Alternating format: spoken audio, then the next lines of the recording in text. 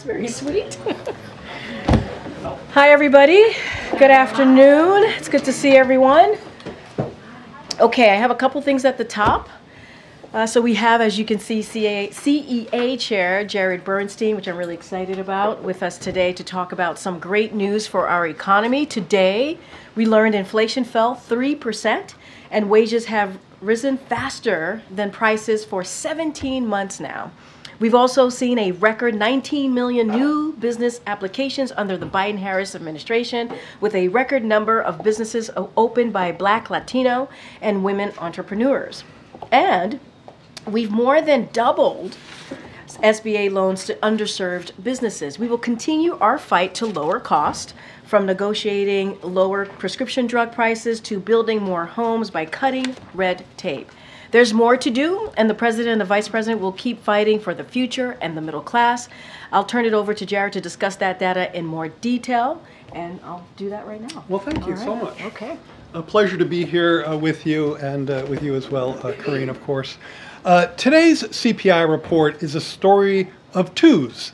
First, we have monthly inflation for July that came in right at expectations at 0.2% for both headline and core. And by the way, if you want to get nerdy with me, which I'm sure you do, uh, those were soft, we call those soft point twos, meaning uh, 0.15 and 0.17 respectively, so they round up to two. Uh, but that's uh, sometimes we call that a soft point two.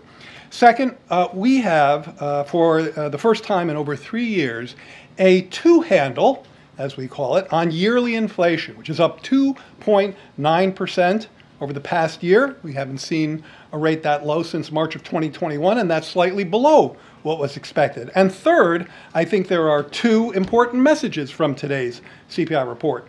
First, we're moving in the right direction on inflation and doing so with some momentum. I say that because when we look at some of the more near term indicators of inflation's growth rate, we see a six month annualized rate of 2.5% and a three month annualized rate of 0.4%. So those more near term rates give a uh, us a better sense of where inflation is headed. The second message from today's report is that while the trend is our friend, our work is far from done. Our cost cutting agenda on behalf of American households is as urgent and important as ever. We will continue to aggressively push to lower the cost of prescription drugs and health coverage, housing, childcare, energy. I'd note that the price of gas at the pump is down 2.2% over the past year. That's in this morning's report. Junk fees, groceries, and any other areas where we can help family budgets. Finally, we take great care at CEA to look at what these inflation reports mean for workers' paychecks. In July, nominal wages went up 3.8% for lower and middle wage workers. And as I've said, inflation rose 2.9%. That's the 17th month in a row, 17th month in a row that wages beat prices for this group, which is 80% of, uh, of, of, uh, of employment. This is important for both the buying power of working families as well as the overall economy. Consumer spending is just, just under 70% of GDP, and it continues to help generate steady growth, um, as shown in this slide, which I don't have because we weren't able to do slides. But I will put this, I will put this on the uh, CEA uh, blog later, on my Twitter account, uh, EconJared46. Uh, with that, um, with that, I'll take your questions. It's like you, no slides. It's like kryptonite for me, but you know. It's, Yeah, no, no, wait, no, no, no, no, sir, sir, sir, Darlene, go ahead. Thank you. Does the White House at this point think that the inflation problem is solved? The momentum is certainly in the right direction. Uh, inflation is reliably coming down. Uh, we uh, have a record of disinflation, uh, meaning uh, slower inflation, uh, that is now you know 60% or a little bit more than that off of its peak. And so this is a consistent trend that's been moving in the right direction. Um, no victory laps, as I tried to assert in my comments um, our work is not done because even as we get inflation back down to uh, pre pandemic levels, we still have to uh, be mindful that too many families are facing too many high costs. And in the area of healthcare, childcare, housing, junk fees, drug, prescription drugs, healthcare coverage, in every one of those areas, the president and vice president are taking aggressive action, not just to keep inflation on this lower path, uh, but also to ensure that we're cutting costs wherever we can. At the same time, we're very mindful of the fact that as inflation has come down as far as it has, over six percentage points on the CPI, um, uh, that the job market uh, remains solid and that real wages are growing, not just this, this month, but on a year over year basis for 17 months in a row for uh, uh middle and lower wage workers. Thank you. Oh, okay. Yeah, thank it was raised just now. Uh, thank you very much for being here. So is that how you would explain why when I talk to voters in the field, when my colleagues talk to people, they still don't think the economy is in a better shape than it was when President Biden first took office. Well, I don't know about that in terms of the broader economic, you know, assessment of, of, of where the, uh, you know, the economy is because, you know, I think people do know that the job market's been strong, 16 million jobs, that's record job growth. The unemployment rate has been historically low. GDP growth has been strong. But I think your question is, is a valid one, which is okay, people I think are aware of many of those, uh, uh, many, of, many of the elements of that progress, but they're still discomforted by the high prices. Now, you know, I, hate to give you a reading assignment, but I, I, gave a speech about a week ago where I really dove into this deeply. It's, it's again, it's on the CEA website. Um, and one of the things I talked about is the important difference between inflation and price levels. Inflation is coming down, as I just said to the first questioner. We think it's on a reliable track to get back to where it needs to be. But there are too many prices that are still too high. And I think that's one of the reasons for the disconnect that you described, for some of the negative vibes that you described. And the, the, you know, I have three words for people who feel the way you just said, which is we hear you. The president hears you, the vice president hears you. We will never stand here and say, oh no, you're wrong. Look at the GDP statistics. You know, that's not the way it works. That's not President Biden's orientation. Uh, we believe that people are the best arbiters of how they experience this economy. And that's why we're working so aggressively on agenda, on an agenda to help them cut costs in all the areas I ticked through before, to make investments in key areas, eh, particularly in places that have long been left behind and hollowed out by irresponsible trade policy. Uh, and you see this president working very hard to reverse that. So we hear you. We're working hard to address those issues, and we're having some success, particularly in some of the areas that we've legislated. If you look at prescription drugs, if you look at health coverage, obviously the junk fee agenda, even on groceries, where the president has leaned hard into nudging companies who have achieved some savings on their input costs to pass those savings forward to consumers in the form of lower costs. And you know, if we were here talking a year and a half ago, we would have had grocery inflation that was double digits. This morning it was about 1% year over year, and there are a number of items within there where we actually have deflation, falling prices of some groceries. So more work to do there, but I think that's the essence of the disconnect. Thank you. Uh, thank you so much. How worried are you right now about the slowdown in the jobs market? So I am the chair of the CEA. Any question that starts, how worried are you right now? The answer is probably yes, you know, worried because uh, I'm charged to watch every banana peel that could be slipped on. Um, the job market remains solid. And I think that's the important observation. Um, yes, we saw a cooler than expected report in July. We were very upfront about that.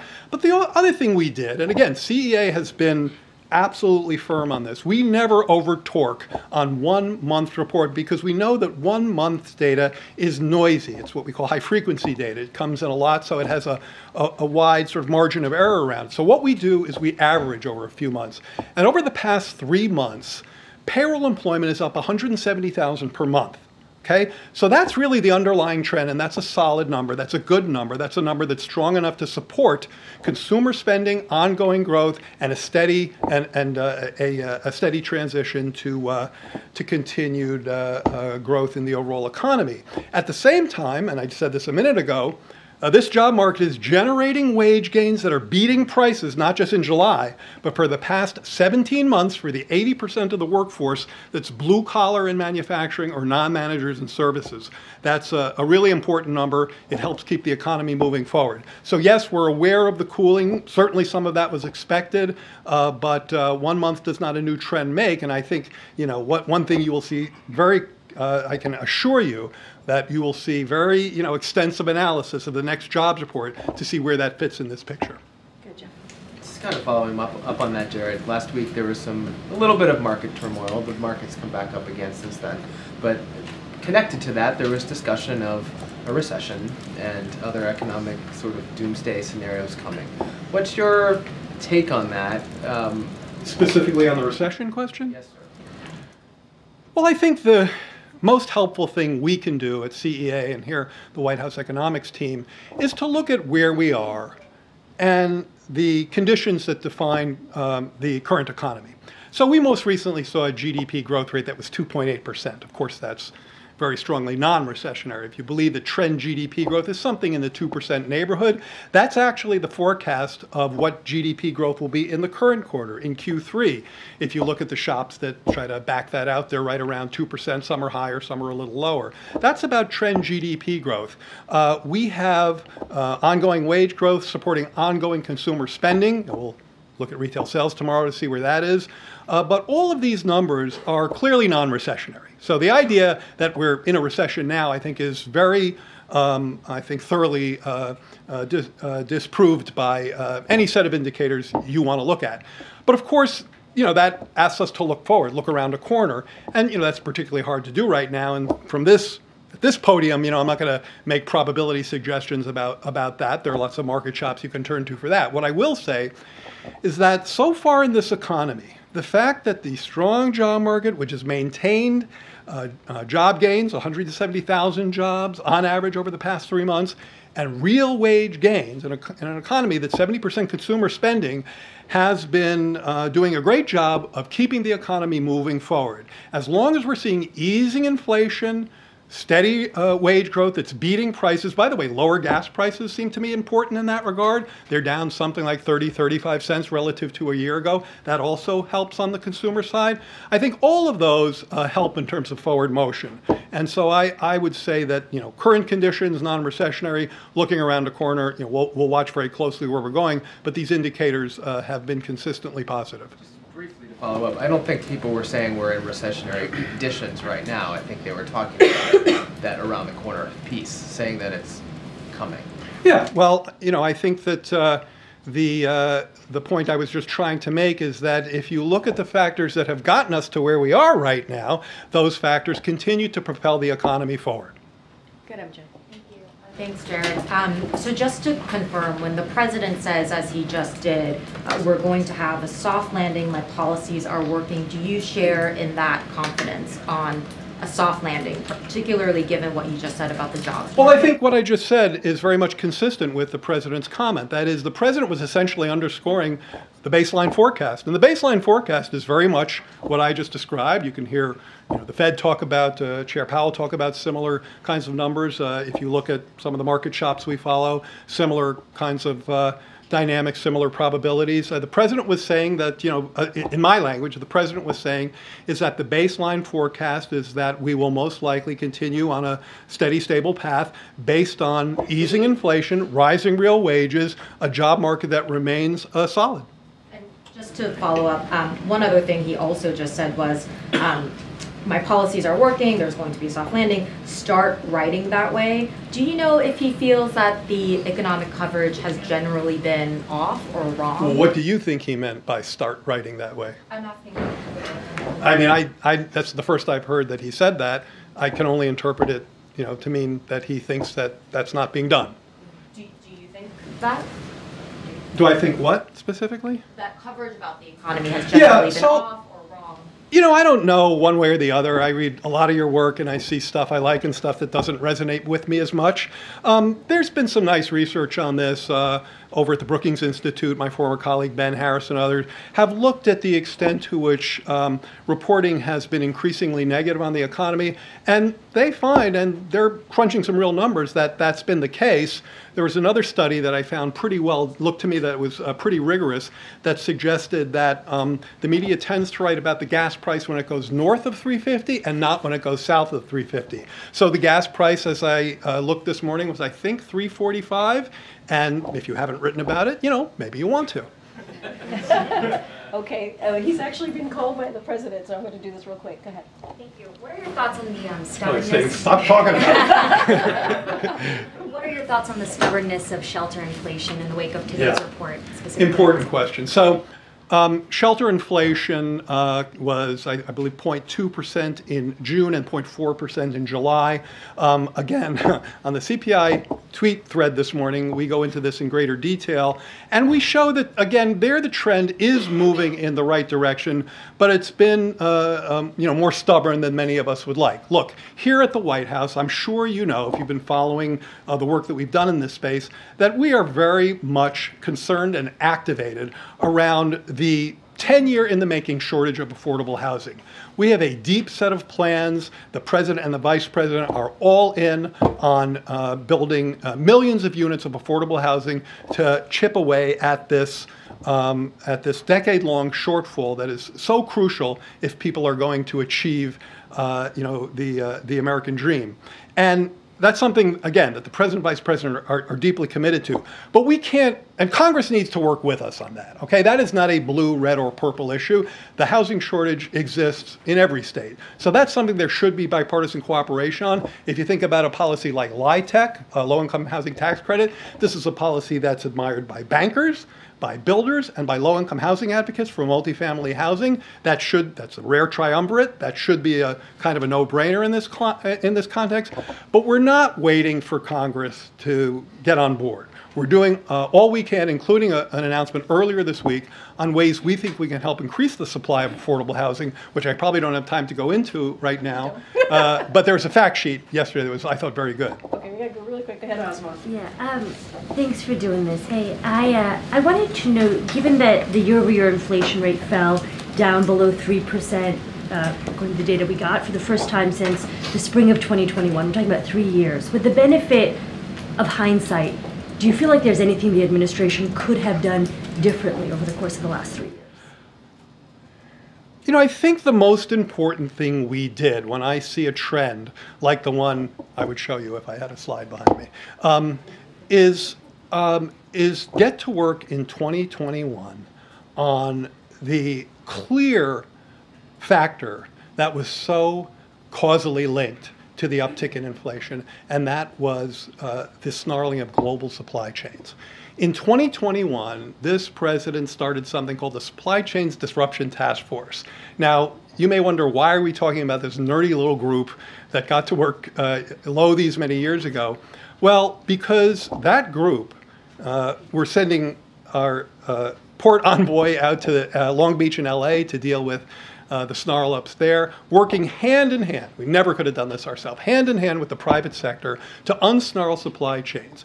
And as our work has shown, if you look at the contribution of uh, supply snarl up and non snarl up, and especially if you interact it with the strong demand that was in place over that period, that explains over 80% of the run up in inflation and 80% of the disinflation we've experienced. So, you know, you could always look back and say things, you know, maybe you could have done differently. But one thing I'm very proud of, and I give the president a lot of credit for, was recognizing early on that by working to uns working with the private sector to unsnarl supply chains, we were going to make a big difference in pulling forward the disinflation that we're seeing even as of this morning.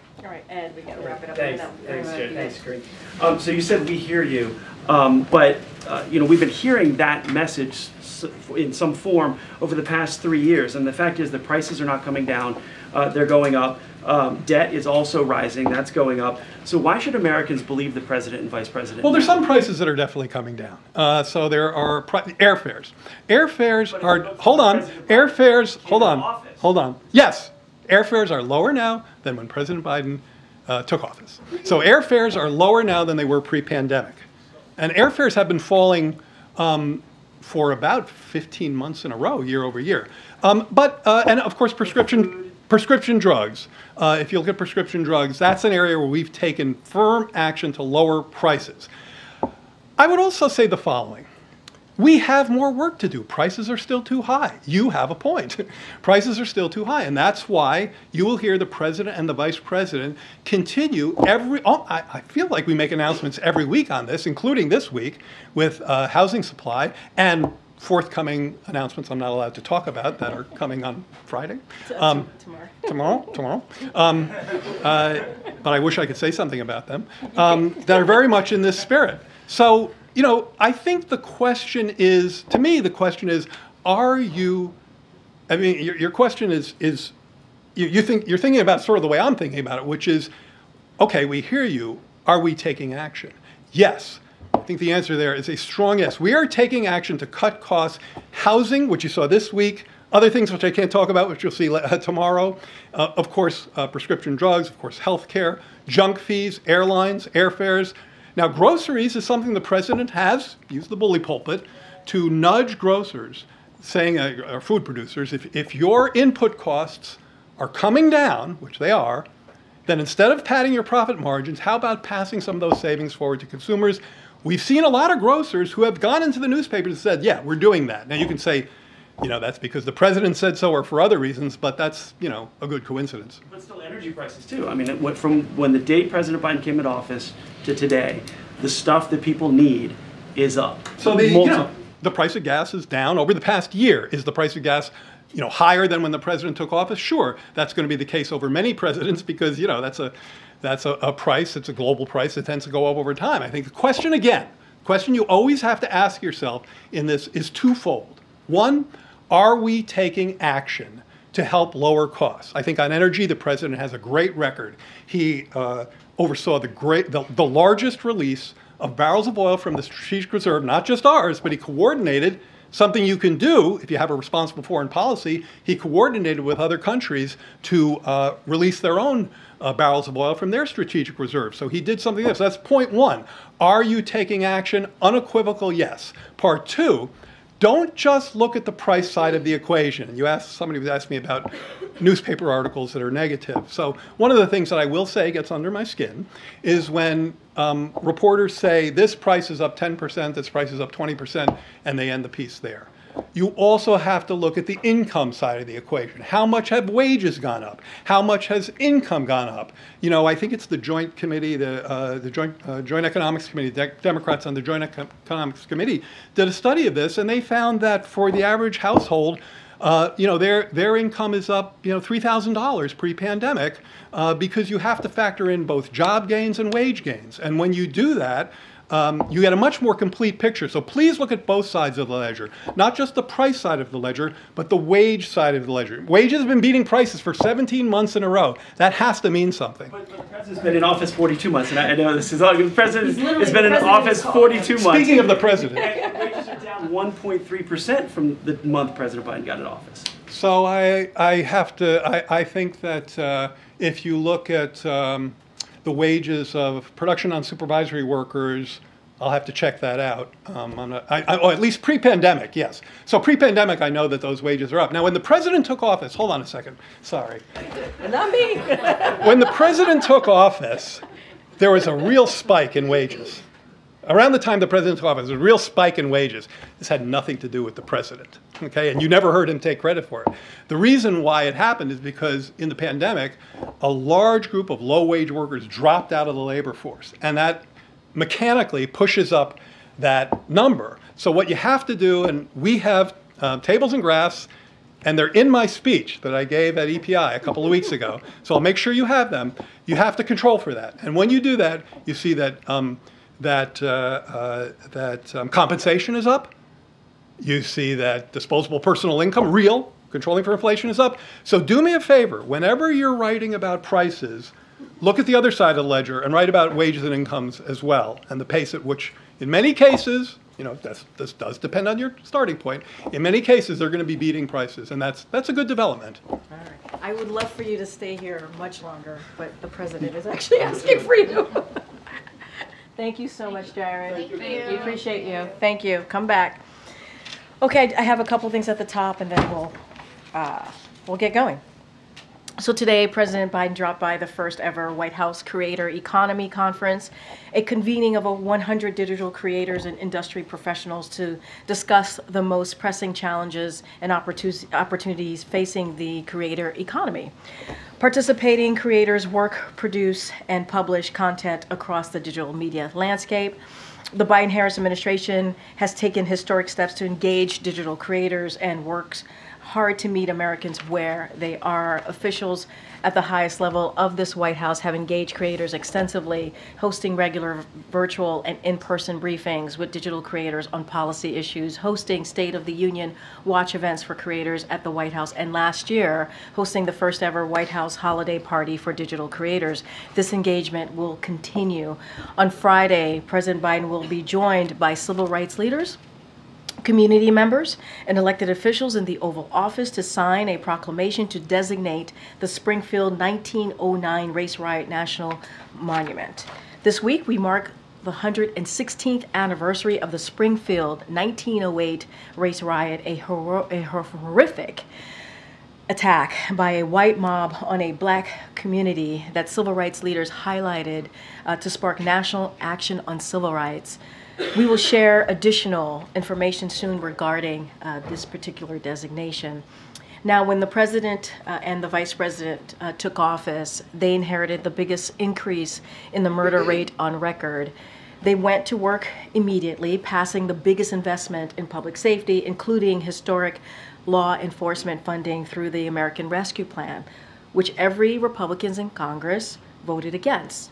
President Biden and Vice President Harris also passed the most significant gun reform law in almost 30 years. And now we're seeing the results of that action. Violent crime has plunged to its lowest ever in almost 50 years. And today, Axios reported new, preliminary data from major U.S. cities shows that homicides were down during the first full six months of President Biden's last year in office, more than 70% in some places compared to the same time of President Trump's, Trump's last year.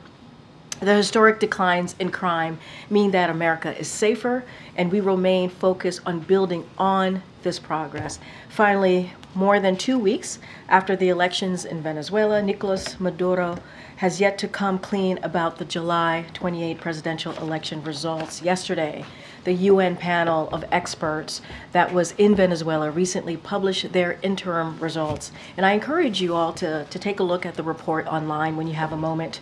But I wanted to take uh, this time to read one of their conclusions. The results management process of the CNE fell short of the basic transparency and integrity measures that are essential to holding credible elections. It did not follow national legal and regulatory provisions, and all stipulated and all stipulated deadlines were missed. In the experience of the panel, the announcement of an election outcome without a publication of its details or the release of tabulated results to candidates has no precedent in contemporary democratic democratic elections. It is abundantly clear to the majority of the Venezuelan people, the United States, and a growing number of countries that the CNE has not provided full, detailed, tallied votes because they would show that Edmundo Gonzalez Urrutia won the votes. Maduro must recognize it and engage in a constructive, inclusive dialogue in good faith with the opposition to restore democratic norms peacefully in accordance with Venezuelan electoral law and the wishes of the people. With that, Darlene. Thank you. Uh, two questions. A uh, top Hamas official told AP in an interview today that the group is losing faith with the ability of the United States to broker a ceasefire in Gaza. Um, So look, um, we expect, just to give an update on what we expect to see uh, tomorrow, obviously this week, we expect these talks to move forward. Uh, as planned, Director Burns and Brett McGurk will both travel uh, to Qatar for these discussions. There's always a, a lot of public posturing in advance. We've seen that before. It's not it's not new of these talks, and I'm not going to certainly weigh in on any of that. Uh, just like I'm not going to discuss the details of the negotiation from this podium. That's not. We do not negotiate in public, so we're not going to do that. Uh, our view continues to be that it is critical that we reach a deal. It is important that we do so. The resumption of talks on Thursday is an important step. It is an important step to continue that. Uh, we need to release the hostages. Uh, we, as you all know, some of those hostages are American hostages. We need to make sure that lasting relief delivered to Palestinian civilians in, in Gaza and lower the tension in the region. Uh, We've said this many times before. This hostage deal, this ceasefire deal, this end of war will help lower tensions in the region. And so that's that's what the deal is going to do, and that's what we want to see. The United States is going to be there tomorrow, and we are ready. We are ready uh, to continue uh, these uh, these discussions. And as you, as I've said before, and as my colleagues from NSC have said many times before, uh, we are working 24/7 around the clock to get this done, to get this deal done. And on the Springfield uh, monument that you just mentioned, the president will designate on Friday, um, did the death of, by police of Sonya Massey have any role in that? Was that, Yeah. was that a factor? And so, look, we appreciate that question, obviously. And so, we've been eyeing this for some time now. Uh, this week's anniversary has been on our radar, radar for a very long time. And so, members of the community have been working, working toward this monument designation for years. Uh, and this is something that the Biden Harris administration uh, is. Thinks it's critically important. Uh, we released statements on uh, Sonya Massey's tragic murder.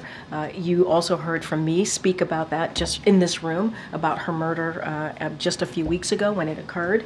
And look, as the president has said, we have made great strides to to march toward uh, full equality, uh, but America has uh, has never lived up to it, it, it in its entirety, and so uh, we're committed. This administration is committed to uh, both telling the full story of uh, of America and ensuring that justice uh, system certainly works for all. Uh, and uh, and we will continue to work uh, on the future on both of those goals. And uh, you could be sure that this is something that the, the Biden-Harris administration is going to be steadfast about. Thank you. Got some. Thanks, Karine. The New York Times is reporting that Hunter Biden sought help from a U.S. ambassador on behalf of Burisma while he was on the company's board and while Biden was vice president. So what's Biden's reaction to this, and is he concerned about what this looks like to the American public? So I'll just report what I've said before: is that the president has never uh, has never done business with his son, and uh, he was not aware of this. And uh, and for anything further, I would have to re- refer you to uh, Hunter Biden's uh, representative, personal representatives. I can't speak beyond that. But again, I've said this before: uh, the president was not in business with his son, and this is the first time, as I the first time he's uh, he was not aware aware of this. Uh, uh, uh, and for anything further, you would have to reach out to Biden. Uh, And you- Hunter Biden. You've said from the podium that President Biden would not pardon his son. If Vice President Harris is elected, would he tell her also to not pardon? I, I mean, that's a hypothetical that I, I look. The president, I can speak for the president, uh, and he said he would not pardon his son, uh, and I'm just going to leave it there. Okay. Thanks, Doreen. Uh, two days ago, John Kirby said that it was the U.S.'s assessment that it was increasingly likely that uh, an attack by Iran and/or its proxies could unfold perhaps in the coming days. Since then, has the assessment changed at all? Uh, I would say the assessment has not changed. What my colleague said, uh, what the admiral said, um, is still stands. But look, and I've said this many times before. He has said this. NSC has said this. Uh, we have we are working pretty diligently on the diplomatic efforts here. Uh, you heard me talk about my colleagues who will be uh, in uh, in the region, right, to uh, uh, to continue to have those diplomatic conversations. And th- this is why tomorrow we believe is important. Uh, we believe getting to a ceasefire deal, ending this war, will lead to uh, bringing down the tensions in the Middle East. And diplomacy is critical. Diplomacy is important. This is something that the president, as you know, when it comes to foreign policy, believes at his core. And it is not for me to speak to what Iran and its proxies are going to do. I can't speak to that, and I don't have anything to say beyond what uh, the admiral shared with all of you a couple days ago. Okay, so is that why Secretary Blinken postponed his trip because of this assessment? So, look, you would have to reach out to the Secretary's office to get uh, the reasoning behind it. I just laid out uh, uh, uh, the CIA director is going to be there. Uh, Brett McGurk from NSC is going to be there. Uh, and so that travel, obviously, travel continues. Uh, and I talked about Amos Hochstein, who was, who was also in the region. I mentioned that yesterday uh, during the gaggle. Uh, so you see many of our uh, of my colleagues are in the region. And diplomacy, diplomacy, diplomacy is what we see as the way forward here. And you also, we've given you readouts of the president talking to heads of state, whether Egypt, Qatar, and Jordan uh, over the past week or so to continue those con- and his and European counterparts as well. Very recently this week, uh, because we uh, we uh, he believes in having those diplomatic. Uh, um, conversation is important and let's not forget there was the military as, as well uh, working with the military to deter the escalations as well you've you've seen uh, the um, the statements from the Department of Defense and what they're doing uh, to bolster forces in the region as well to be to be ready on another topic just now, the president, in contrasting content creators with the press, he said, the biggest thing you've got going for you, and I hope you keep it, is you're trusted. You're trusted. And it makes a difference. Does the president believe everything influencers and content creators post is accurate and nonpartisan? I mean, look, I, I don't have the full context. I haven't didn't see uh, the back and forth of what exactly the president was saying there. Um, I think what he is saying, they are influencers, right? Um, and and and I would say even as you all, right? You all are important, uh, criti- critically important, uh, providing information to the American people, and we certainly respect the platforms that creators have and the, pra- the platforms you all have, uh, and uh, it plays an important role in informing the American people, and that's what that's as far as I can go is the platform that you have and how important it is the platform that they have specifically as you're asking me about creators and making sure that that information gets to the American people. I, I can't speak to uh, specifically of what the president meant. I have to talk to him and get more info of what he was thinking about and at that moment. And I haven't just I haven't had a chance to do that. Thank you. Yeah. Thank you, Karine. Happy belated birthday. Thank you. I appreciate that. I don't know. There's always. There we go. I appreciate that. Thank you. Thank you, Peter. When did you guys learn that Vice President Harris wants to distance herself from Bidenomics? Why do you think that? Axios is now reporting that she is hoping to distance herself from President Biden's unpopularity on the economy. Can you blame her? Do you know this is the Biden Harris administration? Are you aware that this is the Biden Harris administration? And she is indeed the vice president. But if the president's policies on the economy were working, or if they were popular, wouldn't I mean, he still just, be the candidate? You literally just had this the chair of the CEA here who laid out a pretty pretty robust uh, point by point about the economy and what has happened under the Biden Harris administration. And I thought it was pretty convincing. Look, as far as anything that uh, the vice president wants to do, or as she's talking about her policy that's campaign related, you would have to speak to her. Uh, one thing that I can that I know for sure, that I know for sure, is that this president, this vice president, are fighting very hard uh, to make sure that the middle class is stronger. Uh, they wanted to make sure that we're working to cut taxes for the middle class, for working people, uh, slashing cost uh, for working families, as you have seen them do over and over again. This is something that we believe in. You heard, uh, you heard Jared talk about announcements this week about lowering cost, and that is something that they believe in. And the contrast could not be more stark between, if anything, the contrast is between what Republicans want to do, MAGAnomics. You're talking about Bidenomics Maganomics supercharge inflation. That's what they want to do. Raise taxes on the middle class by thousands of dollars. Send tax cuts through the roof. Protect corporate price gouging. Cut Social Security. Cost millions their health care. And heap tax giveaways on billionaires and big corporations. That's the division there. That's where there's really uh, night and day, night and day. But would you admit, at least, that if Bidenomics was more popular, President Biden would still be the candidate. I'm not going to get into polling. What I will tell you is Bidenomics has been something that both the president and the vice president has worked on. You guys, you guys have called it Bidenomics. We talk about how the president is trying to put forward an, an economic policy, building the economy from the bottom up, middle out, that does not leave behind the middle class and make sure it has equity at the center of it. Maganomics, which is very different, which is something that near, neither of them believe in, wants to do the opposite of what we're trying to do on behalf of the American people. That's the difference. Something that we've noticed over the last few days. Now you're noticing a lot over the last few days. The vice president's team is not holding any press briefings. You are left to answer everything for her, even though you are not the vice president's press Ah, secretary. Is that so. getting old? Uh, no. Let me tell you something. I'm the White House press secretary, as you all know, obviously, uh, for the president, for this administration, for the Biden Harris administration. It is an honor and a privilege. You hear me say this all the time honor and privilege to stand before you to be able to do that job.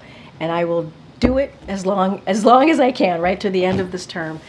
Um, and as you know, as it relates to the vice president, she certainly has been on the road. Uh, she has taken questions from uh, some of you in doing her gaggles. You have seen her.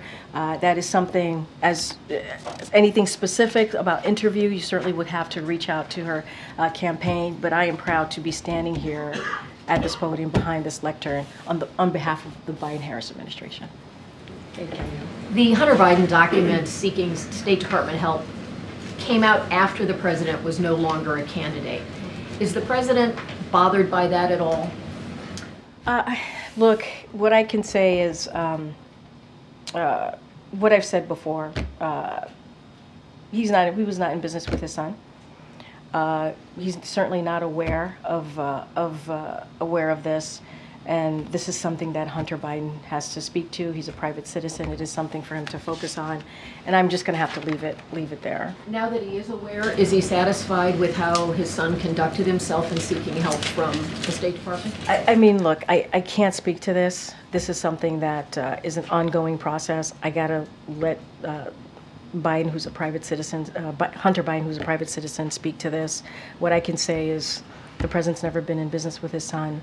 He was not aware of this, and this is something for Hunter Biden to speak to. Should the documents have come out more quickly, though, given that it's been years of I, litigation? I, I, I really can't speak to timeline. The process here is not something that I can speak to from the podium.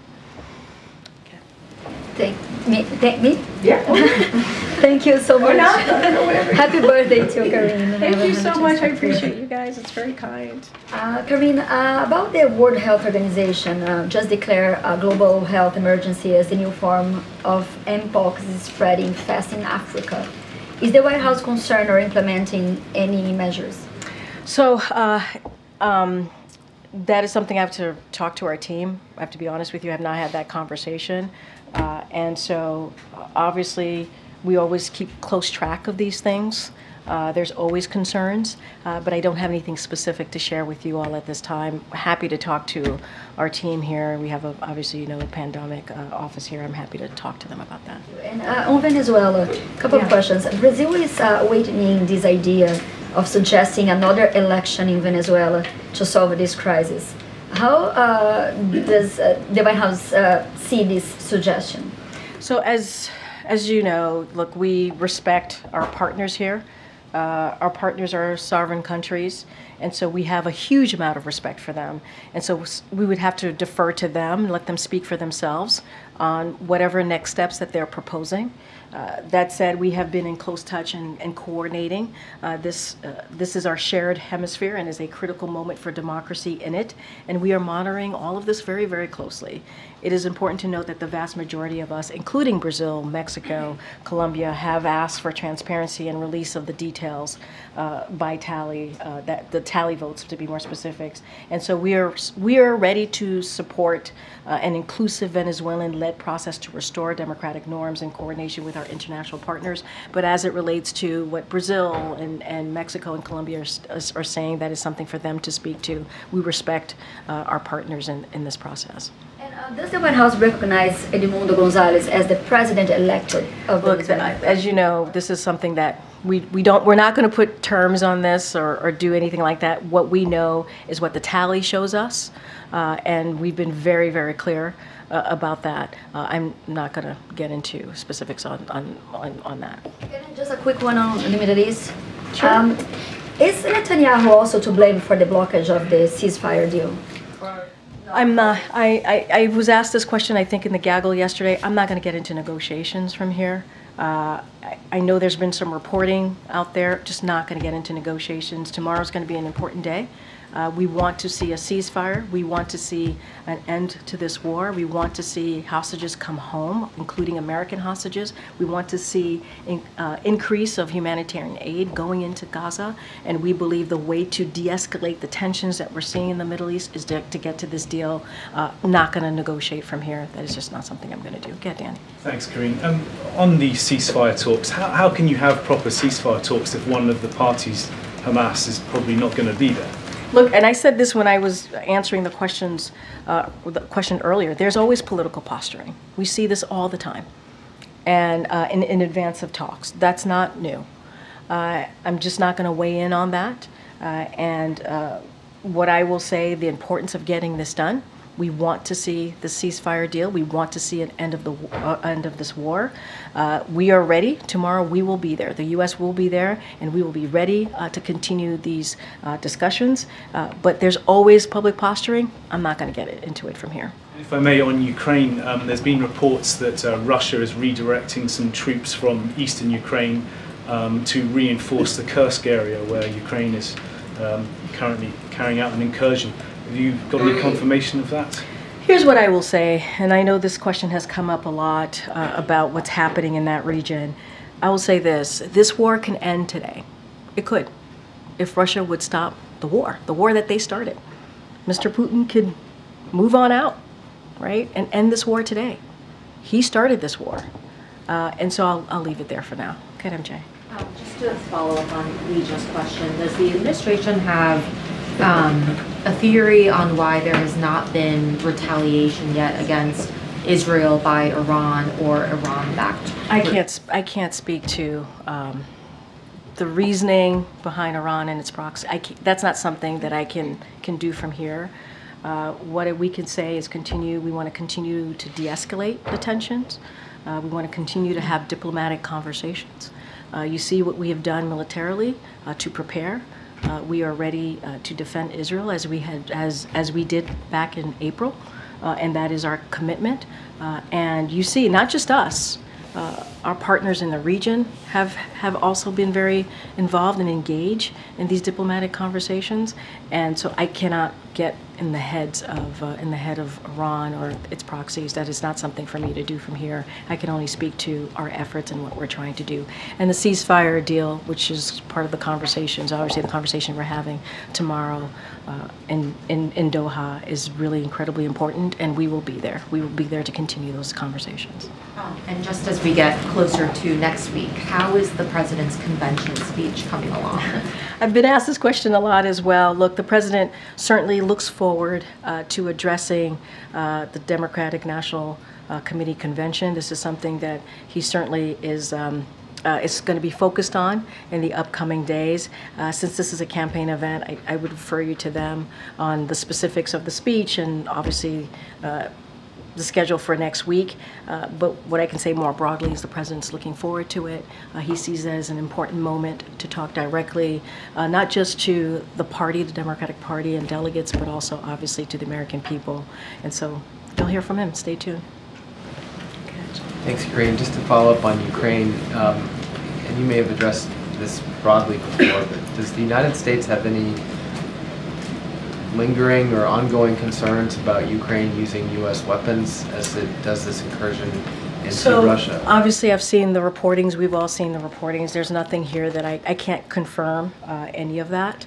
Uh, what I will say is obviously the, this is an administration uh, that has been very focused on making sure that Ukrainians continue to have what they need to beat back against uh, Russia's aggression. Uh, that is something that we've been focused on for more than two years, and that's going to be uh, continuing uh, our certainly our commitment. Not just us, the more than 50 countries that the president was able to come together to to make sure that Ukraine is able to fight for their democracy.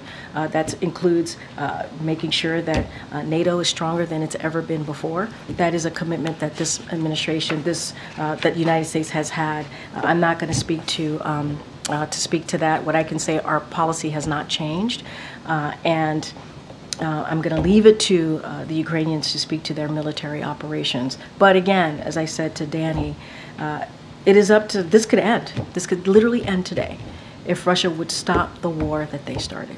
I guess the question is just if, if you make any distinction between U.S. support for Ukraine defending itself or going on the offense.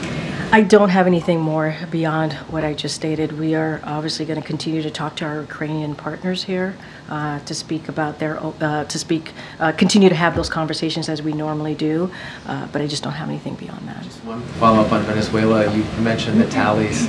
Just to clarify, is it the United States' position that the opposition candidate won, or is that not the position? Our, our position is that uh, obviously uh, Edmundo has gotten uh, majority of the tallies, and it is clear. It is clear. Uh, and so what we have said over and over again, and will continue to say, is that Maduro needs to acknowledge that. Needs to acknowledge that. Just wondering why not call on the president-elect then? It's just uh, not something that uh, we're going to do from here. What I can say is that uh, um, we're going to continue to to uh, certainly consider a range of options uh, to incentivize, incentivize and pressure Maduro to recognize the election results, and we'll continue to do so. But the, the responsibility is Maduro and the Venezuelans' electoral authorities to come clean on the election results, and that's what we're going to continue to call for. I uh, certainly laid out at the top the UN uh, report, uh, which we think is incredibly important. But besides that, uh, it's clear. It's clear that Edmundo uh, has uh, uh, has uh, obviously, uh, for, with the election results, has the most tally, and so Maduro uh, needs to recognize that.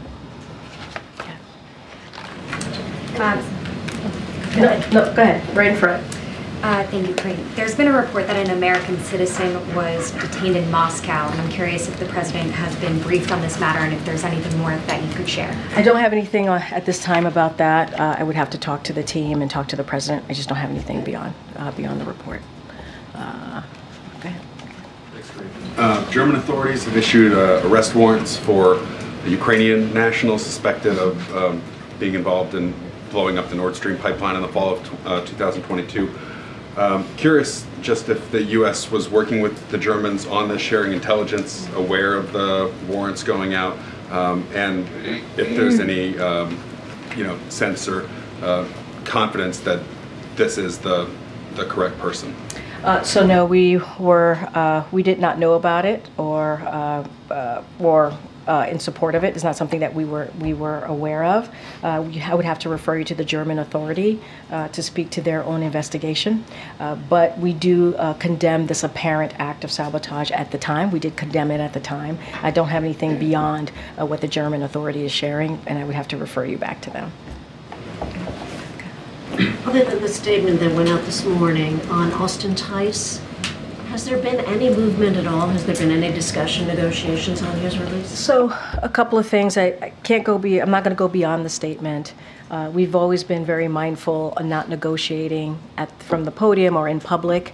Uh, as you know, these are incredibly sensitive matters, uh, and you've seen from this president uh, more very very recently on when he was able to bring home American hostages home, his commitment, his commitment to making sure uh, wrongfully detained uh, American hostages come home. They come back uh, to their loved ones and their families, and that is something that is a commitment from this president. I'm going to be very, very careful here. I do not want to uh, negotiate in public because these matters are incredibly sensitive. We understand how important it is for their families, not just for us, uh, to have uh, their family member come home. As a follow-up, is there any, has there been any discussion on added value on the part of Syria to holding Tice because he's a former U.S. Marine? I'm just not going to get into it from here. I'm just not. I'm just going to be super mindful. Okay. Agreed, thank you. I just wanted to join Peter and Raquel in wishing you a happy belated birthday as Oh, well. thank you so much. Um, Appreciate it. Can I ask about Ukraine as well? I just wanted to know whether the US is, uh, whether the US supports Ukraine's incursion into the Kursk region. I don't have anything else to share. I, I, I don't. What I will say is that uh, um, uh, we're certainly not engaged in any aspect of the planning or preparation uh, uh, of this operation.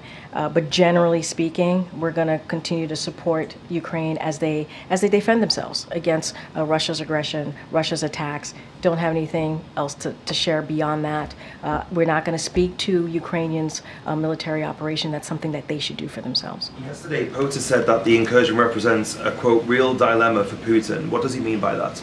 I think that's very clear. I don't think I need to el- elaborate from what the president said.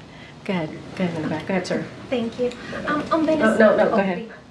Uh, The administration has asked the Supreme Court to lift a block on its student loan uh, cancellation plans. How confident are you of a favorable ruling, given that the court previously ruled against a similar plan last year? So look, I've said this before, when we put policies bef- uh, out, we believe um, on the legal merit of tho- those policies. Uh, So we're always confident uh, on, on that ground.